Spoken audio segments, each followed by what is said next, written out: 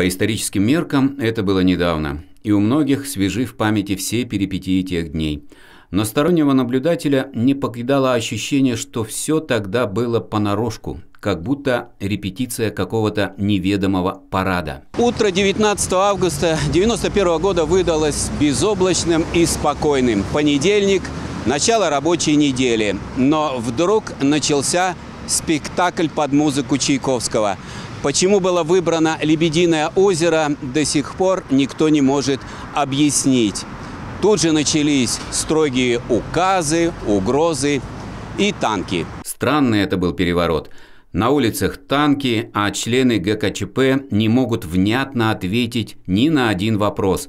На саморазоблачительной пресс-конференции, после которой их рейтинг упал ниже Плинтуса, им в лицо могли бросить вот такое пожелание. Уверены ли вы, а если уверены, то на чем основана ваша уверенность, что все реформы, которых сегодня мы все слышали, миллионы советских людей, они будут поддержаны народом. Ведь в противном случае вы окажетесь полководцем без армии. Однако на улицах города так не считали. Вот что вспоминают очевидцы и участники событий. Я, в общем-то, знал, какая ситуация уже э, в городе и в стране. Но э, когда я двигался по улице Остоженки, я уже понял, что все намного серьезнее, чем предполагалось. И э, сначала на улице Остоженко я увидел вооруженных людей, потом я увидел бронетехнику ближе, подъезжая к Кремлю. Сегодня известно, что от ГКЧП приказа о вводе войск в центр города не было, но кто-то их туда погнал. Министр обороны, тоже член ГКЧП, наоборот хотел вывести танки из Москвы но ему мало кто подчинялся. Сейчас, наверное, вы, может быть, не сильно удивились, но тогда, в 91 году, увидев танки, у меня было впечатление «война». Вот просто одно слово – война. Я никогда не мог предположить, что это было начало развала Советского Союза.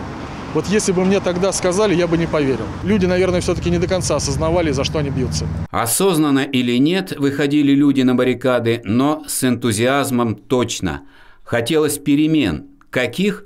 Представлялось смутно. Большинство людей поддерживало все-таки ту политику, которая была, и э, ну, то есть хотелось вроде как поучаствовать в процессе, чтобы была эта свобода, демократия, и э, что-то еще. Но только вот с годами мы поняли, что это было не совсем то, э, как это нам препод... За что боролись. Да, за что мы боролись и как нам это преподносилось. Нет, в 91 году всем хотелось именно этого смутного призрака свободы. Захотелось не получить ее из чужих рук, а взять ее самим – и были уверены, что все это получилось. А ведь внешне это походило на своеобразный такой праздник непослушания. Трехдневный всесоюзный прогул школьников. Но в результате распад СССР – крупнейшая геополитическая катастрофа 20 века. Сегодня другой мир, другая страна. Что мы извлекли из августа 91-го? Наверное, вот это послание от президента. Кто не жалеет о распаде Советского Союза, у того нет сердца. Кто хочет восстановить его в прежнем виде, у того нет головы. Эти слова сказаны уже в наши дни. Поняли ли мы их? Если да, то наконец-то через 30 лет они дарят надежду. Сергей Берзин, Константин Химичев, Первый Мытищинский.